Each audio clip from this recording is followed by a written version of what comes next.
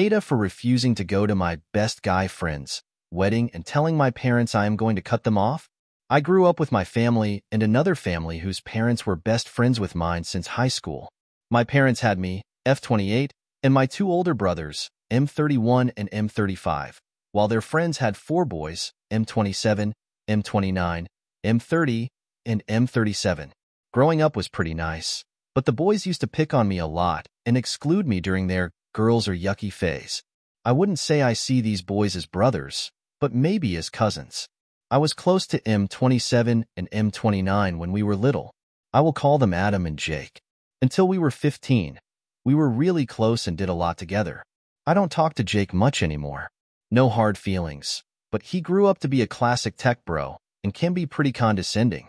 However, our families are obsessed with the idea of us ending up together. The other guys are already married, and Adam is gay. They've always pushed for us to be together, making us go to the store alone at Christmas, telling us both an earlier time to meet at the restaurant for Dad's birthday, talking him up a lot, etc. Then both Jake and I met RSOs. I have been with my fiancé for five years, and Jake met his fiancée three years ago. Our families have been very disappointed and have not welcomed RSOs warmly. One Christmas, I took Jake's fiancée, Tracy, aside and explained the weird family lore to her. With Jake, just like we did with my fiancée, we assured her that it was just a weird thing of our family and that Jake and I have not been close for ages and have never had more than a friendly relationship. Ironically, having to stand against our parents made us all a little closer. But we come to the problem.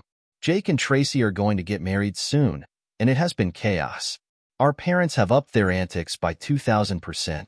Family dinners are full of, oh, we thought you two would get married. They brought out a picture I apparently drew of me and Jake when we were little of us getting married. I suspect they made it. It did not look like it was made by an actual child. They were cornering Tracy about making me the matron of honor and letting me wear white. What?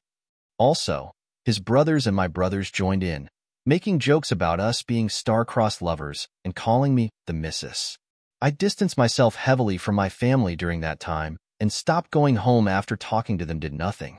One day, one of my brothers invited me out. He said it was just my two brothers and me. So, I went to his apartment, and when I arrived, it was Jake's bachelor party. One of his brothers screamed out that the stripper was here, fucking you. I wanted to leave, but the next train left close to 12 a.m., and it was not the safest neighborhood. So, I stayed.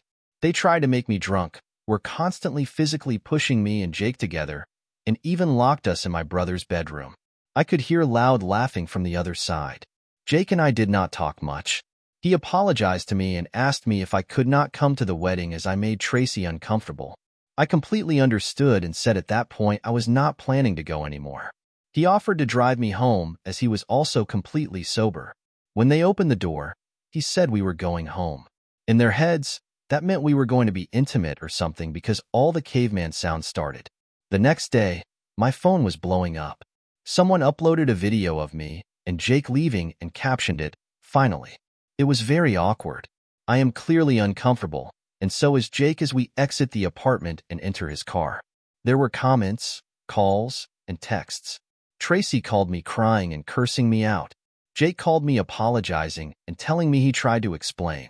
My mother and his mother sent me a bunch of texts saying how proud they are and that it was about time. My fiancé is understanding, but he wants me to make clearer boundaries with my family. I drove past their house, and they were all there. They didn't even let me talk and were just love-bombing me. I started screaming and told them Jake and I have never and will never be together and I will not be leaving my loving fiancé. That I would not be going to Jake's wedding, and if they kept up with this, I would cut every single one of them off because I am tired and just want to live my life and not their incest fairy tale. By the end of my meltdown, my mother and his mother were crying, and my father just told me to get out. Since then, I have been getting messages from my brothers calling me a bitch for treating my family like that because they only wanted the best for me. So, AITAH? Edit. Knowing Uber was not an option. Taxis and Ubers are ungodly expensive here. Thus is take the freaking train. Also know we don't have a car. Tracy was away and my fiancé had a night shift. Update. I'm kidding. Just thought this comment was particularly hilarious. First of all, Thank you all for your insight. especially those of you who reached out in the comments and privately with similar stories. I honestly thought my family was the only demented one, but apparently it's a trend. Also, a lot of German parents have done that. In that vein, Joe Skice, any? Now for the real update. My fiancé and I spoke and concluded that cutting out my family for now would be the best option. I sent a message to my parents and brothers explaining my decision to distance myself for the time being. I emphasized that while I love them, I cannot continue to endure their pressure and manipulation. I told them their behavior had made me resent them and, to some extent, Jake. They ruined any friendly relationship we could have had and made me feel gross and exploited. I told them they were setting me up to be sexually assaulted if it had been anyone else but Jake. I also told them that their controlling behavior was the reason I never told them about anything in my life. I told them it hurts to be with them, and I am in a bad mood for days after meeting them. I never look forward to holidays with them and have caught myself wishing I would get into an accident or get sick before the holidays to have an excuse not to go. They cut themselves out of my life, and they will not be there when I get married have kids, or in any other life achievements. After sending the message, I left the group, blocked them all, and felt really light.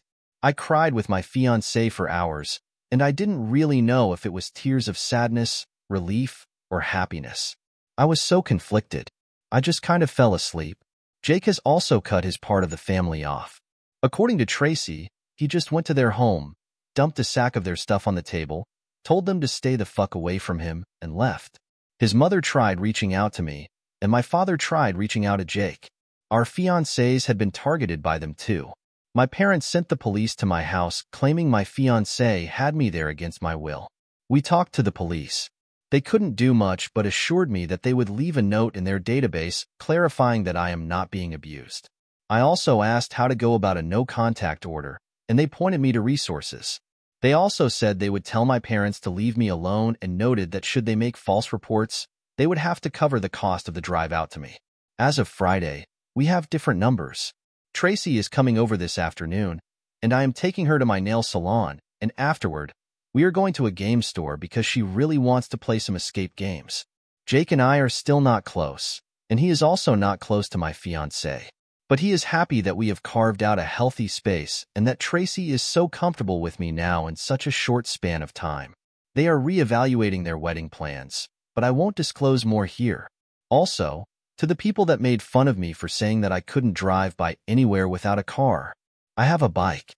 Anyway, that was it. It was only a week, and I don't see this going much further. My parents are going to keep contacting me probably, but it's going to be all right. We are all all right.